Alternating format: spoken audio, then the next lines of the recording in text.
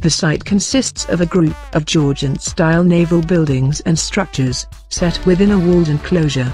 The natural environment of this side of the island of Antigua, with its deep narrow bays surrounded by highlands, offered shelter from hurricanes, and was ideal for repairing ships. The construction of the dockyard by the British Navy would not have been possible without the labor of generations of enslaved Africans, since the end of the 18th century.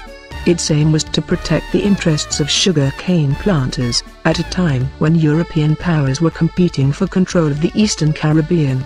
Antigua's location as a frontline naval dockyard facility, gave the British Navy a strategic advantage over its rivals at a crucial point in history.